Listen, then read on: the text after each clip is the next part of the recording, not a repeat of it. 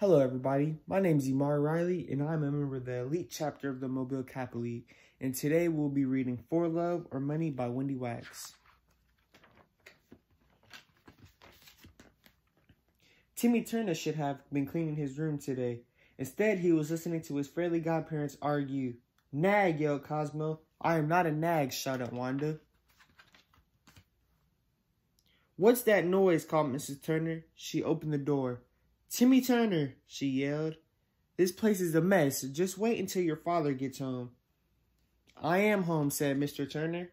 You are so pretty when you are angry, he told Mrs. Turner. And you are so handsome when you say I am pretty, said Mrs. Turner. They began to dance. Wow, did you see that? Timmy asked Cosmo and Wanda. When Dad got all mushy, Mom forgot that she was angry.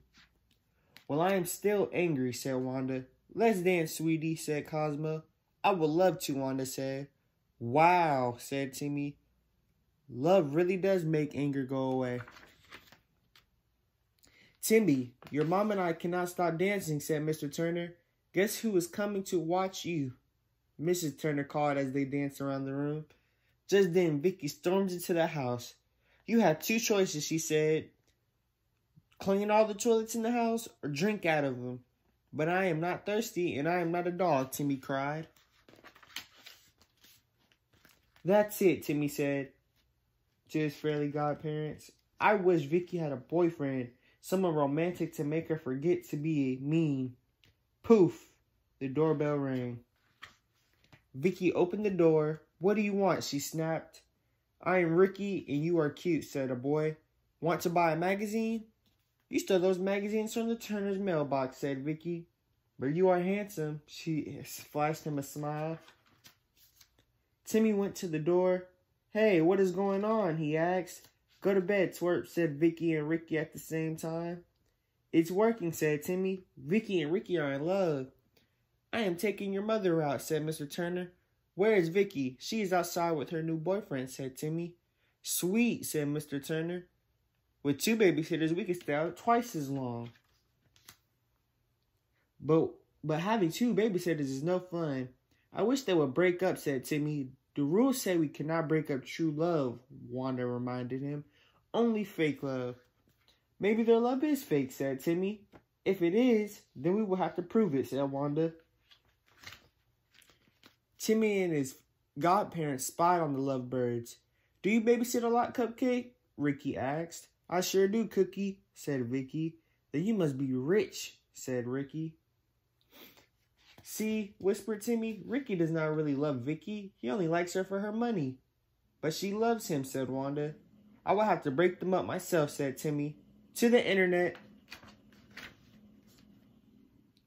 Timmy ran upstairs to his room and turned on his computer. I will find Rick, Ricky a rich new girlfriend, he said. Wanda helped him post an ad on the internet. It said, Nice, sweet, single teen male seeks girl with tons of money.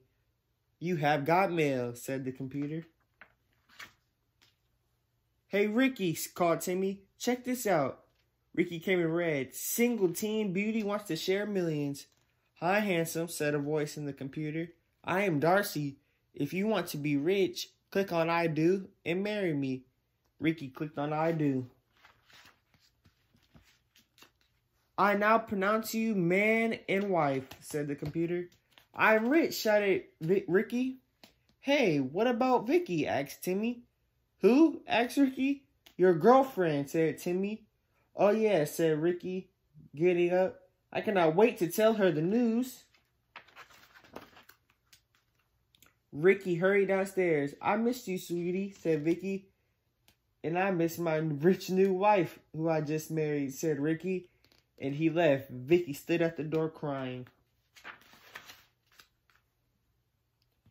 I want my money, Ricky called. When he got to Darcy's house, and I want my first married kiss, Darcy said. No way, you are Mr. Crocker's mother, said Ricky. But at least you are rich. Not anymore, said Mr. Crocker. Mommy spent all her money years ago, stepdad. Meanwhile, things were back to normal at the Turner's house. Wow, Timmy said. Wanda. Wow, I'm sorry. Wow, Timmy, said Wanda. You really broke them up. Suddenly they heard banging in the next room. And now Vicky is a madder than ever, said Cosmo. Where are you, twerp? yelled Vicky. Don't just sit there, Timmy and Cosmo. Run. The Turners came home feeling happy. Then Mrs. Turner saw Timmy's room. Timmy Turner, she yelled, clean your room or you'll be grounded for life. The end.